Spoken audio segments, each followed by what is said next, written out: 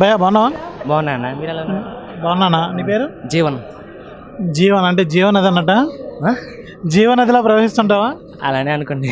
అలా ఎవరు మంది మన నర్సన్పేట ఇక్కడే.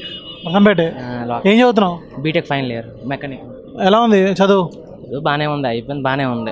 సరే మీ కాలేజ్ అన్నీ బా గవర్నమెంట్ నుంచి డబ్బులు వస్తున్నాయి మీకు? వస్తున్నాయి. జీ విద్యా దీవెన వేస్తున్నారు కానీ కరెక్ట్ టైంకి రావట్లేదు. అక్కడ కొద్దిగా డిస్టర్బెన్స్గా ఉంది. పర్లేదు వస్తున్నాయి. అంటే పెరిగిన ఫైనల్ ఇయర్ ఫైనల్ ఇయర్లో ఒకసారి ఒకసారి వేశారు మనం ముందే కట్టేయమన్నారు కాలేజీలో. సో మా పర్సనల్ కట్టాల్సి వచ్చింది. టై- పడతాయి టైం పడతాయి అని చెప్తున్నారు బట్ తెలియదు పడతాయి లేవు. ఒక్కడివైనా తమ్ముడు చెల్లెలు ఉన్నారు చెల్లి ఉంది ఏం చదువుతున్నావు అమ్మాయి? బీటెక్ చదువుతుంది ఇక్కడ శివాని కాలేజీలో. దానికి అమౌంట్ పడుతుందా? తనకి పడుతుంది సేమ్ ఇలా నాకు పడినప్పుడు తనకు కూడా పడుతుంది సేమ్ అంటే ఇవేనా? ఇంకా ప్రభుత్వం నుంచి ఎన్ని పథకాలు అందుతున్నాయి మాకైతే స్టూడెంట్స్ కాబట్టి బీటెక్ రెండే పథకాలు ఇంకేం లేవు. అంతే. సో వైసీపీ ప్రభుత్వ పాలన ఎలా ఉంది అనుకుంటున్నారు బాగానే ఉంది కానీ మనీ మైనడ్ చేస్తున్నారేమో అనుకుంటున్నాను కానీ బాగానే ఉంది. నెగిటివ్ చేస్తున్నారు తనని అంటే జగన్ని. ఐ థింక్ స్టూడెంట్గా నేను సాటిస్ఫై అంటే జగన్ అలా అని. మాకు ఇల్లు వచ్చి ఇల్లు లేదు ఇల్లు వచ్చింది. అమ్మకి డబ్బులు నాన్నకి డబ్బులు మాకు చేపి నన్ను ఐఎమ్ సాటిస్ఫై. జాబ్స్ అంటే నాకు తెలియదు ఇంకా స్టడీస్ అవ్వలేదు నాకు ఇంకా. జాబ్ గురించి నాకు తెలియదు కానీ సినిమా బస్ ఛార్జీలు కానీ సినిమా ఛార్జీలు కానీ అటు మద్యపాన నిషేధం అని చెప్పి మద్యపాన నిషేధం చేయకుండా అట్లా రేట్లు పెంచడం కానీ ఈ రేట్లు పెంచడం వల్ల ఎంత? తెలియదు అం- బస్సు గురించి చెప్తే బస్సు రేట్ పెంచారు బాగా పెంచారు బస్సు రేట్లు.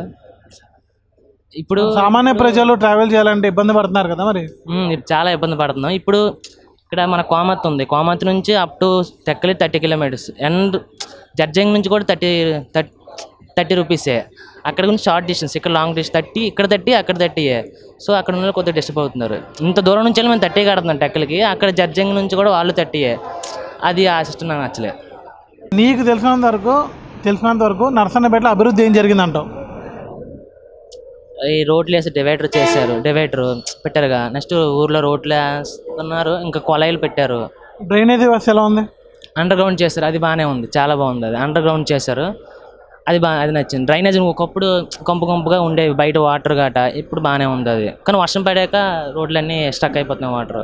అంటే వర్షంకి నిలవ ఉంటాయి? నీళ్ళని ఉంటున్నాయి. కొన్ కొంతసేపు ఉంటున్నాయి తర్వాత వెళ్ళిపోతున్నాయి డ్రైనేజ్ లోపలికి. జగన్ అన్న ఇళ్ళ పథకం అని చెప్పి ఇల్లు ఇస్తున్నారు కదా అది నాణ్యత లేదని చెప్పి చాలా మంది ఆరోపిస్తున్నారు దానివల్ల క్వాలిటీ?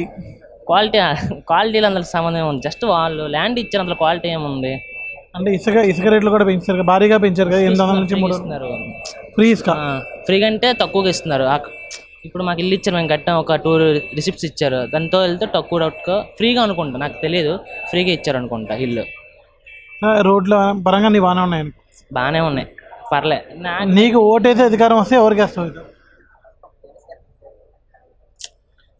నా ఇప్పుడు మేము ఇప్పుడు మాకు జగన్ బాగా హెల్ప్ చేశారు ఇల్లు ఇచ్చాడు ఇల్లు అమ్మకి డబ్బులు మాకు చెల్లికి నాకు తనే చదివిస్తున్నాడు.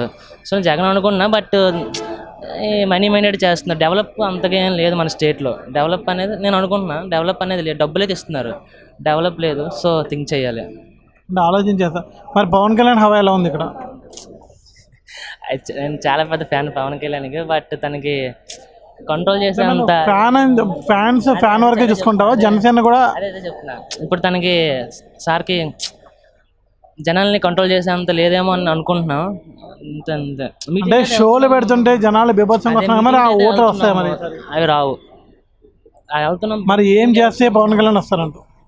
ఇంకా ఎక్స్పీరియన్స్ కావాలేమో అని నేను అనుకున్నాను ఇంకా కొత్తగా వచ్చారు. కొత్తగా టెన్ ఇయర్స్ అవుతుంది వచ్చి కానీ తనకి అడ్మిషన్ అంటే కంట్రోల్ చేసే అంత ఇది లేదని అనుకుంటున్నాను థ్యాంక్ యూ